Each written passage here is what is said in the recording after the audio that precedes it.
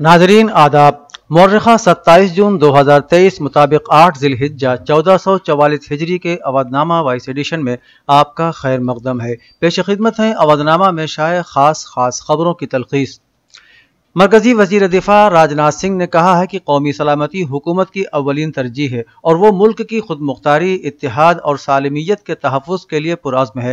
पीर को जम्मू में कौमी सलामती कॉन्फ्रेंस से खिताब करते हुए मिस्टर सिंह ने कहा कि दो हज़ार तेरह चौदह में हिंदुस्तान की शबी एक कमज़ोर मुल्क की थी, लेकिन आज ये मुल्क हर खतरे पर काबू पाने की सलाहियत रखता है। मिस्टर राजनाथ सिंह ने कहा कि फ़ौज को जदीद तरीन हथियारों और जदीद टेक्नोलॉजी से लैस करने में कोई कसर नहीं छोड़ी जा रही है। कौम को यकीन दिलाते हुए कि मुसल्ह अफवाज, सरहदों और समंदरों की हिफाजत करने की पूरी सलाहियत रखती हैं। उन्होंने वज़ीर अजम के अमरीका के हालिया दौरे को एक तारीखी वाक़ करार दिया, जिसने दो तरफा दिफाई ताउन के एक नए दौर का आगाज़ किया है। तलबिया की गूंज में सन दो हज़ार तेईस मुताबिक चौदह सौ चौवालीस हिजरी के मनासिक हज का आगाज़ आज आठ जिलहिज्जा से हो गया और आजमीन हज काफिलों की सूरत में तलबिया कहते हुए मीना पहुँच गए हैं। आजमीन हज के लिए मीना में दुनिया की सबसे बड़ी खेमा बस्ती जदीद सहूलत सहूलतों के साथ बसाई गई है। आजमीन हज आज की रात मीना में ही क्याम करेंगे और कल नमाज़ फज्र की अदायगी के बाद मैदान अरफात के लिए रवाना होंगे, जहाँ हज का रुकन आज़म वकूफ़ अरफात अदा किया जाएगा। वाज हो कि एक सौ साठ ममालिक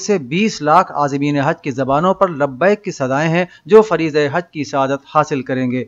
फ़िल्म आदि पुरुष के खिलाफ इलाहाबाद हाई कोर्ट में भी एक अर्जी दाखिल की गई है, जिस पर समाप्त करते हुए राजेश सिंह चौहान और जस्टिस श्री प्रकाश सिंह के डिवीज़न बेंच ने सेंसर बोर्ड और फ़िल्म साज और हिदायतकार को ज़बरदस्त फटकार लगाई है। इस मामले में सेंसर बोर्ड की तरफ़ से पेश हुए वकील अश्वनी सिंह से अदालत ने सवाल किया कि आखिर सेंसर बोर्ड क्या करता रहता है। फ़िल्म समाज का आईना होती है, आगे आने वाली नस्लों को क्या सिखाना चाहते हो? क्या सेंसर बोर्ड अपनी जिम्मेदारियों को नहीं समझता? हाईकोर्ट ने फ़िल्म आदि पुरुष बनाने वालों को फटकार लगाते हुए ये भी कहा कि सिर्फ़ रामायण ही नहीं, बल्कि कुरान पाक, गुरु ग्रंथ साहब और गीता जैसे मजहबी सहीफों को तो कम अज कम बख्श दीजिए, बाकी जो करते हैं, वो तो आप कर ही रहे हैं। इलाहाबाद हाई कोर्ट में एक रिट दाखिल कर मुस्लिम लड़के के साथ लिव इन रिलेशनशिप में रहने की इजाज़त मांगी थी, लेकिन इलाहाबाद हाई कोर्ट ने इस अर्जी को खारिज कर दिया है। हाई कोर्ट ने कहा कि इस्लाम में शादी से पहले किसी भी तरह का जिनसी या हवस पर मबनी अमल, मसलन बोसा लेना, गलत तरीके से छूना या घूरना मना है, इसलिए उन्हें एक साथ रहने की इजाज़त नहीं दी जा सकती।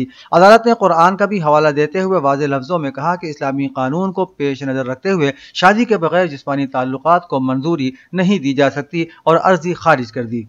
एनडीटीवी की एक रिपोर्ट के मुताबिक मुंबई के कुरला से ताल्लुक रखने वाला बत्तीस साल मुतासर अफान अंसारी अपने साथी नासिर शेख के साथ कार में गोश्त लेकर जा रहा था। उन्हें मुबैना तौर पर गौ रक्षकों ने रोका और मारा पीटा। पुलिस ने बताया कि दोनों को अस्पताल में दाखिल कराया गया है, जहाँ इलाज के दौरान एक शख्स की मौत हो गई। सत्य हिंदी के मुताबिक सब इंस्पेक्टर सुनील भामरे ने कहा, मौके पर पहुँचने पर हमने कार को खराब हालत में पाया। जख्मी लोग कार के अंदर थे और हमने उन्हें करीबी अस्पताल में दाखिल कराया, जहाँ उनमें से एक की मौत हो गई है। इस सिलसिले में अभी तक दस अफराद को हिरासत में लिया जा चुका है। उत्तर प्रदेश के वज़ीर अला ने आज यहाँ अपनी सरकारी रिहाइशगाह पर मुनदा एक आला सतही मीटिंग में जल जीवन मिशन और नमामि गंगे प्रोजेक्ट की पेशरफ का जायजा लेते हुए कहा कि हर घर नल और हर घर जल के अज़्म के साथ रियासत के सभी देही कुंभों को पीने का साफ़ पानी फराहम करने के लिए एक अजीम मुहिम चलाई जा रही है।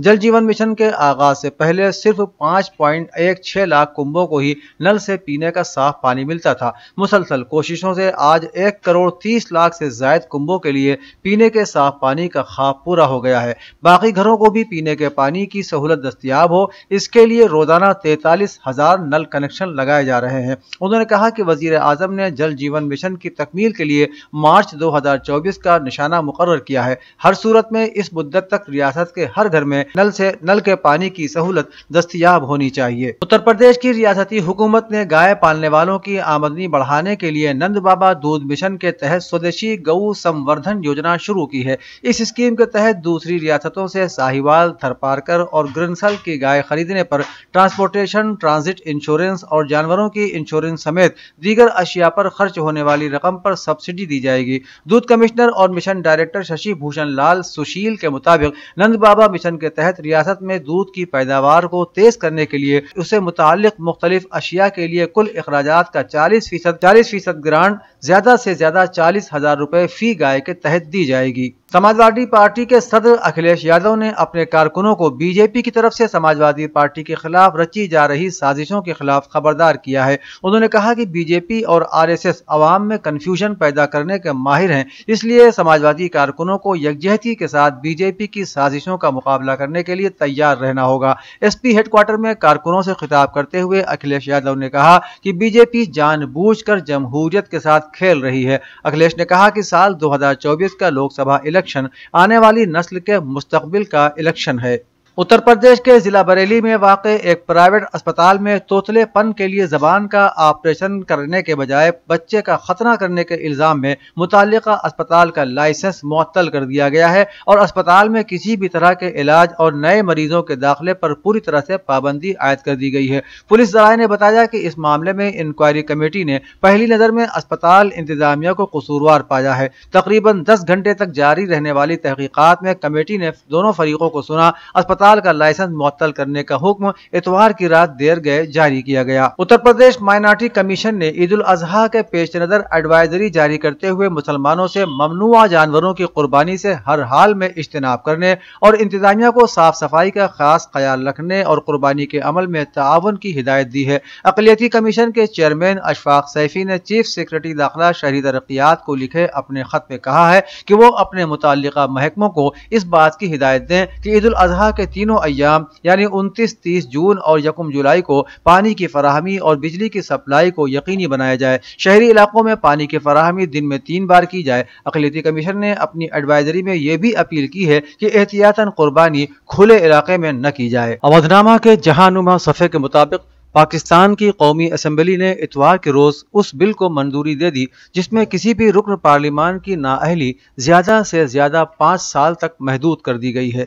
सीनेट ने इस बिल को पहले ही मंजूर कर लिया था और अब इसे सदर के पास दस्तखत के लिए भेज दिया गया है और उनकी तोसीक के बाद ये कानून बन जाएगा।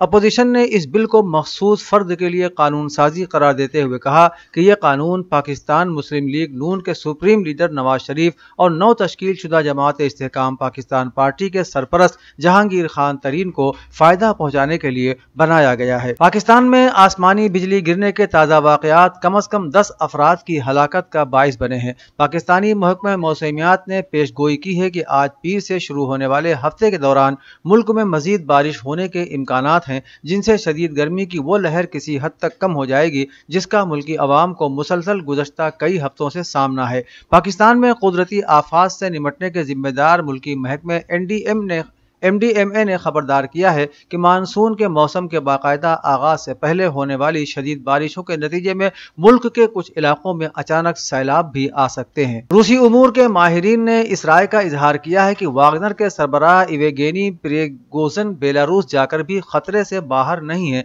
क्योंकि रूसी सदर व्लादिमीर पुतिन किसी गद्दार को कभी माफ़ नहीं करेंगे। अल अरबिया की रिपोर्ट के मुताबिक उन्होंने कहा, अगर पुतिन कहते हैं कि आप बेलारूस चले जाएँ, तब भी वो गद्दार हैं और मेरे ख्याल में रूसी सदर उन्हें कभी माफ़ नहीं करेंगे। उन्होंने मजीद कहा कि यह मुमकिन है कि प्रिगोजन बेलारूस में मारे जाएँ। उनका कहना था कि अगर मैं पुतिन होता तो मुझे इस बात की फ़िक्र होती कि आम रूसी उन लोगों की हौसला अफजाई क्यों कर रहे हैं, जिन्होंने बगावत करने की कोशिश की। इससे पता चलता है कि मुल्क पर पुतिन के कंट्रोल के बारे में सवाल पैदा हो गए हैं। चीन ने रूस के बागी ग्रुप वेगनर के मुख्तर दौरानिए के मुसल्ह बगावत पर पहला बाबा तबसरा करते हुए रूस की हिमायत करने का इरादा किया है, जबकि अमरीका ने इस आर्जी बगावत को रूसी सदर व्लादिमीर पुतिन के इकतदार में वाज दरार कहा है। रिपोर्ट के मुताबिक चीनी वजारत खारजा ने एक बयान में कहा कि चीन कौमी इसकाम के तहफ़ तरक्की और खुशहाली के हसूल में रूस की हिमायत करता है। ताहम चीनी वजारत खारजा ने इस हवाले से तबसरा करते हुए मजीद कहा कि यह मामला रूस का अंदरूनी मामला है। अफ़गानिस्तान के सुप्रीम लीडर हैबतुल्ला अखवनजादा ने दावा किया है कि इस्लामी तर्ज हुक्मरानी को अपनाने से खातन को रवायती जबर से बचाया जा रहा है और खुद मुख्तार और बावकार इंसान के तौर पर उनकी हैसियत बहाल हुई है। अफगान तालिबान के सुप्रीम लीडर ने अपने बयान में कहा कि खातन को इस्लामी शरीयत के मुताबिक